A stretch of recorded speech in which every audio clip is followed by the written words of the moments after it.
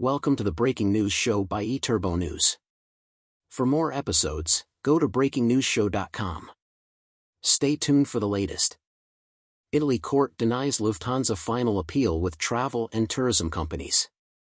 The issue on travel agents' commission in the Fiavet versus Lufthansa case was determined when the Italy court ordered Lufthansa will have to reimburse the Italian travel agencies the Court of Cassation definitively supported Fiavet Confcommercio, the Italian Federation of Associations of Travel and Tourism Companies, on the reduction of Lufthansa's commission from 1% to 0.1% for ticket sales as being illegitimate. This opens the way for refunds in favor of travel agencies.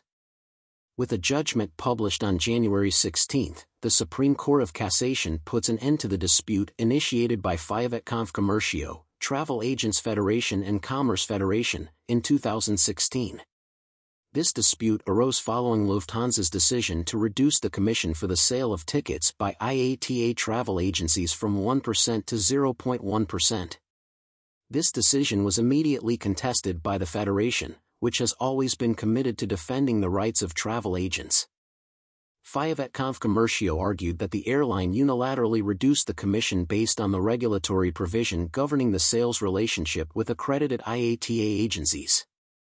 This reduction was considered symbolic and uneconomical compared to the costs and obligations, annual fee, guarantee, training slash updating courses, hardware slash software implementation, imposed to maintain the sales relationship.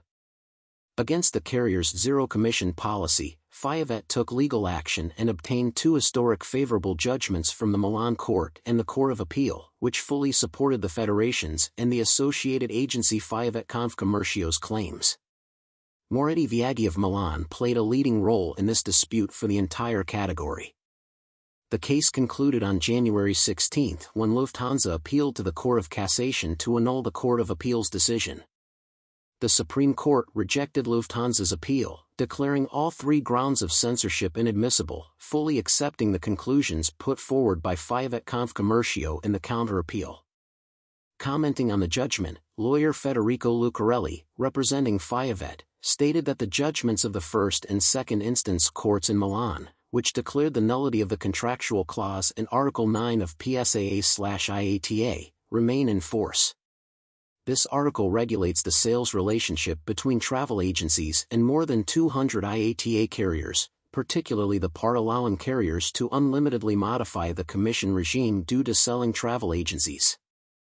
Lucarelli explained that the practical effect is the right of travel agents to request from Lufthansa, based on the court decisions obtained by Fiavet Confcommercio, the payment of the higher commission not received since January 1, 2016.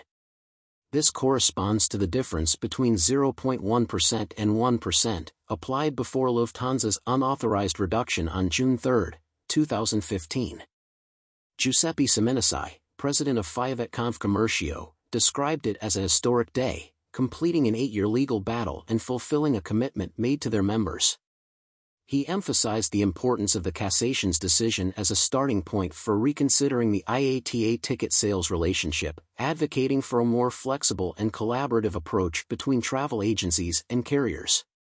Ciminnisi expressed the hope that this decision would lead to dialogue and collaboration rather than resorting to legal actions. Thank you for listening. Watch and listen to more episodes on BreakingNewsShow.com.